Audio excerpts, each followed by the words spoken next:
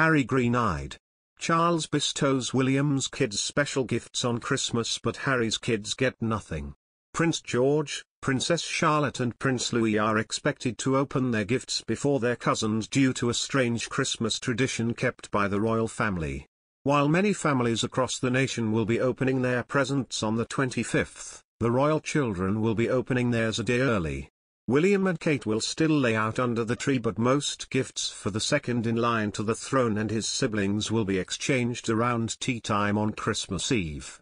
The tradition of opening gifts a day early has its roots based in the ancestry of the royal family. Former royal chef Darren McGrady explained, the royals are of German descent so they weave in German traditions to their celebrations. After afternoon tea, they open gifts on Christmas Eve, as is the German tradition.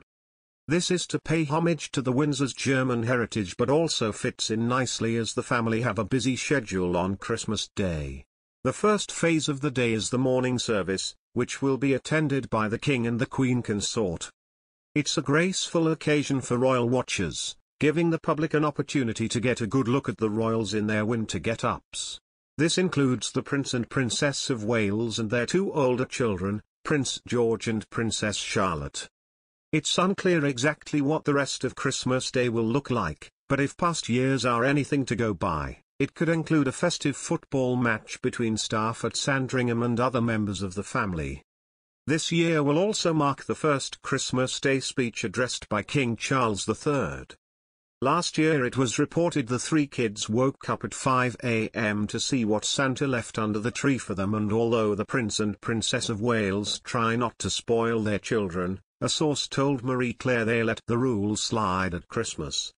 Royal etiquette expert Myka Meier has said Kate's parenting style includes being an aware, engaged parent, who teaches her children royal etiquette by herself.